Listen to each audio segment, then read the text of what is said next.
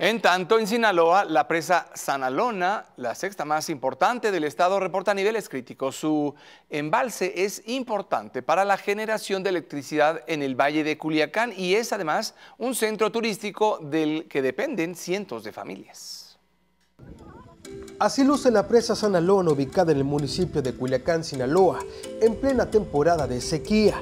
De acuerdo al último reporte de la Comisión Nacional del Agua, sus niveles de almacenamiento son de 33.6% y de manera general, las 11 presas con las que cuenta esta entidad llegan al 21% de su capacidad, aunque día con día los niveles de las presas disminuyen, los pescadores se aferran a esta actividad y aprovechan para continuar la extracción de peces todos los días desde las 6 de la mañana. Guadalupe Zamudio es pescador desde hace 30 años. Asegura que para el mes de abril la presa queda prácticamente seca y tienen que salir a buscar otro modo de ganarse la vida. Pues ya para abril, mayo ya se va para abajo el agua. Ya queda prácticamente seco todo esto. Pues no seco, seco, pero sí, sí queda bajo el agua, el, 20 al 15%. Puede trabajar en el campo, te ayudante el bañilo, yo qué sé. Hay que buscarle lo que, en lo que caiga. Diariamente en esta presa, los trabajadores pescan entre 10 y 15 kilogramos de filete de tilapia así como 30 de mojarra y bagre.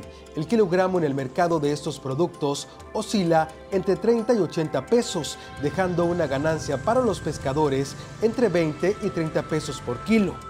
La presa Sanalona, además de ser una fuente de ingresos para alrededor de 150 pescadores, su espectacular vista, aún en tiempos de sequía, atrae a los visitantes de la ciudad sí está muy, muy bajito. La vez pasada que vine, que vine estaba un poquito más alto, pero sí, está muy seco. No está muy, este, como quisiera uno verlo bien al, llenito de agua. Aunque la sequía no ha afectado por el momento al sector turístico, sí ha impactado al sector pesquero y al servicio doméstico.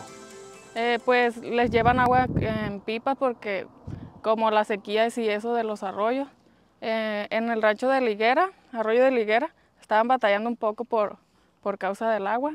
Hicieron otro pozo nuevo, pero pues como ahorita están en, en eso de hacerlo y esas cosas, pues les llevan agua para allá en pipas. Se espera que para los próximos meses la sequía incremente en el estado de Sinaloa.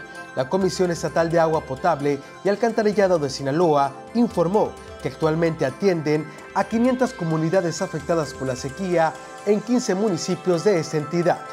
Con uno, Samuel Sánchez.